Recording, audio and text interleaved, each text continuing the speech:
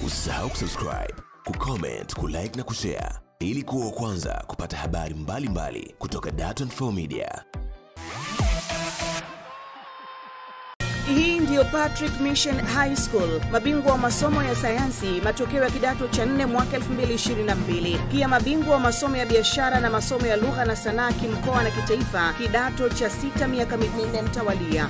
Shule imeshika nafasi ya sita mkoa wa Dar es Salaam mwaka 2022. Imefaulisha kwa daraja la kwanza na la pili tu. Pia imetoa wanafunzi watatu wa daraja la kwanza nukta saba.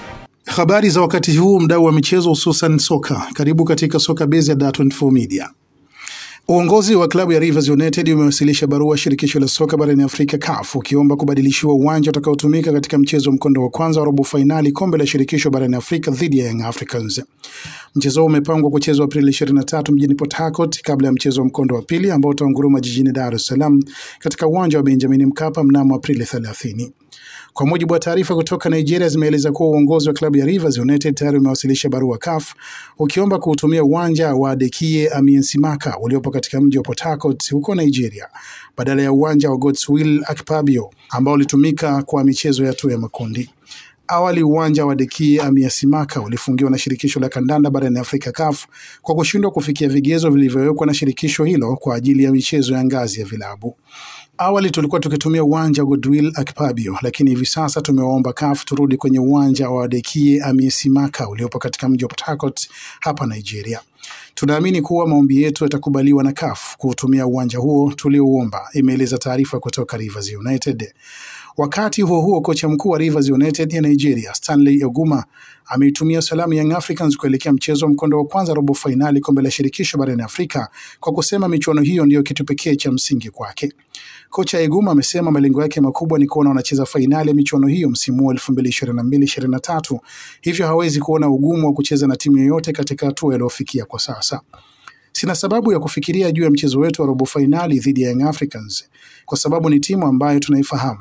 Tulikutana nayo msimu uliopita na kuwatoa. Kitu kikubwa ambacho nataka kuona tunafika fainali msimu huu. Young Africans sio timu mbaya wala sio timu kubwa. Kama wapinzani lazima tuwaheshimu, lakini sioni sababu yoyote ya wao kuharibu mipango yetu na tushindwa kufikia malengo yetu, amesema kocha Eguma. Katika hatua nyingine, nahodha cha Rivers United Morris Chuku ametahadharisha Young Africans kuelekea mchezo huo wa mkondo wa kwanza wa robo fainali kombe la shirikisho barani Afrika. Chuku amesema hawaogopi kukutana na timu yoyote kwani wamejipanga vya kutosha na lengo lao ni kuhakikisha wanafika fainali katika michuano ya kombe la shirikisho barani Afrika na kutawazwa kuwa mabingwa msimu wa 2022-2023. Rivers United imefanikiwa kuonyesha kiwango cha juu kwenye michezo ya hatua ya makundi ikiwa na mastaa wapya kama mabeki Ngweni Ndasi, Lawrence Edward, viungo wa kati Joseph Onogo, Ekeme Williams na mshambuliaji Nyima Nwagua.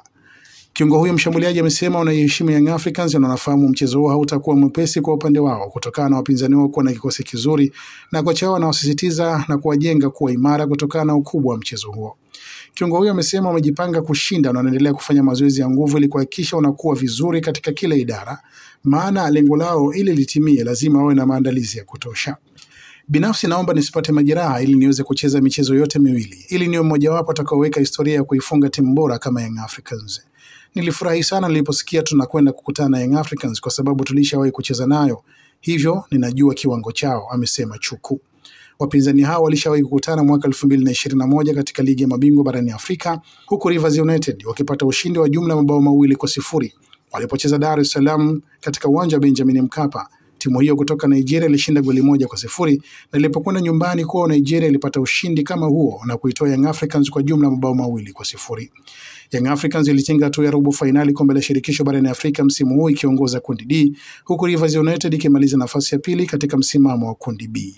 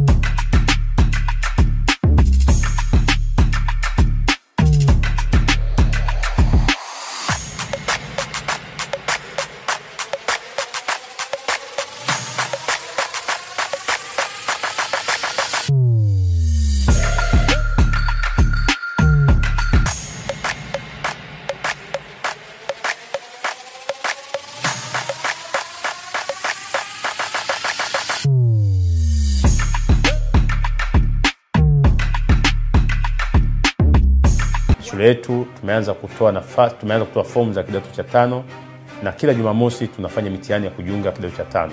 Fomu zinapatikana Msimbazi Center, duka namba tisa. Shule yetu imetoa daraja la kwanza na la pili kwa matokeo ya 2022 na shule ya saba, lakini imetoa mtoto wa kwanza Tanzania nzima, imetoa mtoto wa tatu Tanzania nzima masomo ya biashara, lakini imewahi toa mtoto wa saba Tanzania nzima katika masomo ya lugha na sanaa. Tunawachukua watoto wote wa michepuo ya biashara na michepuo ya lugha na sanaa.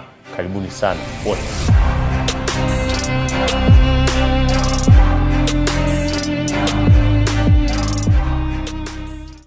Usisahau kusubscribe, kucomment, kulike na kushare ili kuwa wa kwanza kupata habari mbalimbali mbali kutoka Dar24 Media.